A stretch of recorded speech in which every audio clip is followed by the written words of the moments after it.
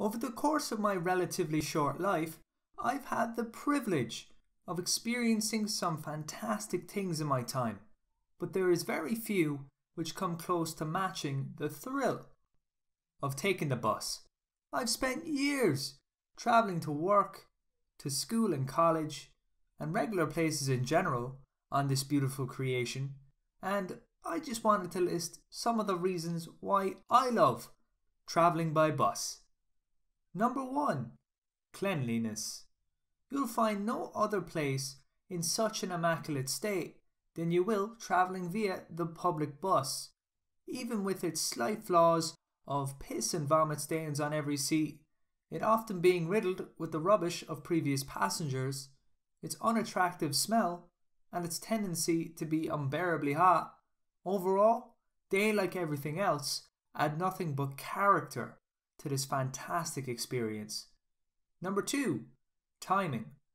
If you have somewhere important to be, which requires a quick and timely commute, then you can bet there's no better transport of choice than taking the bus.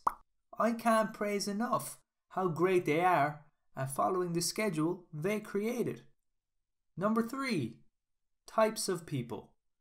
Nothing makes going from point A to point B more exciting than having the opportunity to chat with all the wonderfully charismatic people you'll find on your journey. First, you have the lads in the back, trying to give off the perception that they're hard, but don't let their rough appearance fool you. They're actually a barrel of laughs, especially when they're robbing you. Next, you have the old folks, a little bit quiet, maybe because they're trying to conserve their last remaining energy, but don't let their frailty fool you.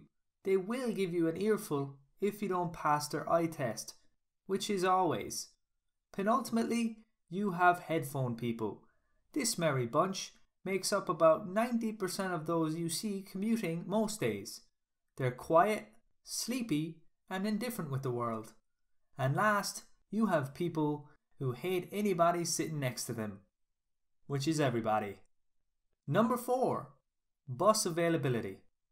The public transport system has this amazing habit of giving the best conditioned buses to some of the most unused routes, and often struggle to supply any bus for some of the most used routes, despite the length of their journeys. But they shouldn't worry too much about how I feel. It's not like I can use a competitor. And number five, affordability. Now, I would have to give props to the bus system for being some way affordable with their ticket prices. If it weren't for the fact they put extremely short expiration dates on all their tickets. Definitely unintentional. Overall, I really would enjoy taking the bus if it weren't for the fact I feel no joy and my soul is dying.